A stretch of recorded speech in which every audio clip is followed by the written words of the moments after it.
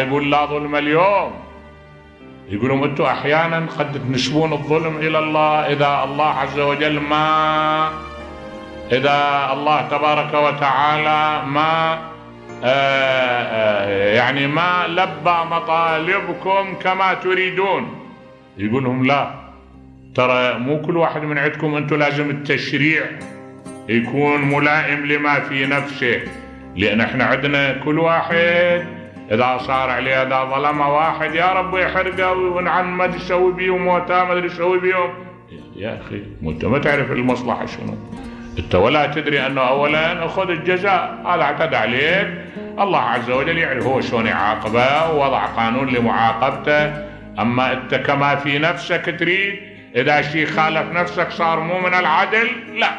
الآية تشعرنا لا ظلم.